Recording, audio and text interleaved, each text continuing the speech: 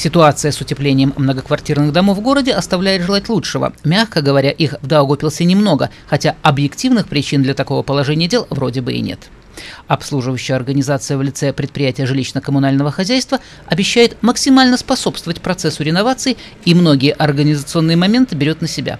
Первое, что надо сделать, это провести общее собрание жильцов и запустить процесс. В первую очередь жителям нужно понять, как они э, теряют теплоэнергию. Для этого нужно на собрании принять решение, чтобы дом а, провел энергоаудит и получил энергосертификат. Исходя из показаний, которые есть в энергосертификате, а, ПЖКХ дает задание на а, проект, формируется проект, и после этого уже строители, исходя из проекта, предлагают цену. Заметим, что расходы на энергоаудит, а также на составление проектной документации софинансирует Даугупилская городская дума в размере 80%. В зависимости от дома цена энергоаудита составляет 400-500 евро. Другими словами, жильцам он обойдется до 100 евро на весь дом – Поделите эту цифру на количество квартир в доме, и вы получите стоимость процесса для одного домохозяйства. В зависимости от показателей энергоаудита будут спроектированы и работы по утеплению. Простой пример – дом на Ятнику 88.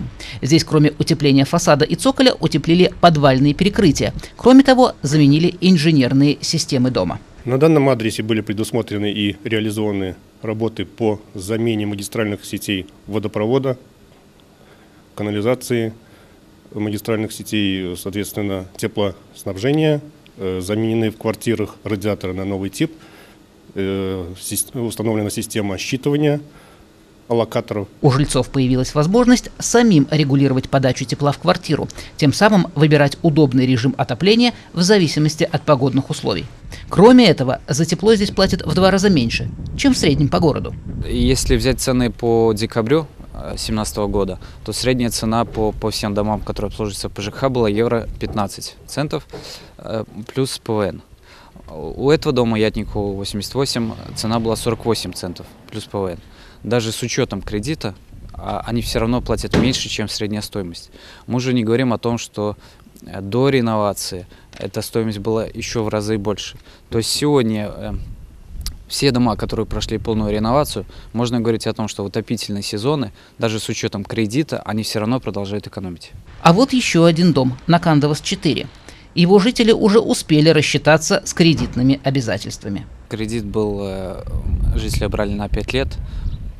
Сегодня жители платят в два раза меньше, если брать цифры за декабрь, чем средняя цена у всех остальных домов. И при этом уже кредит выплачен. То есть жители уже живут в плюс.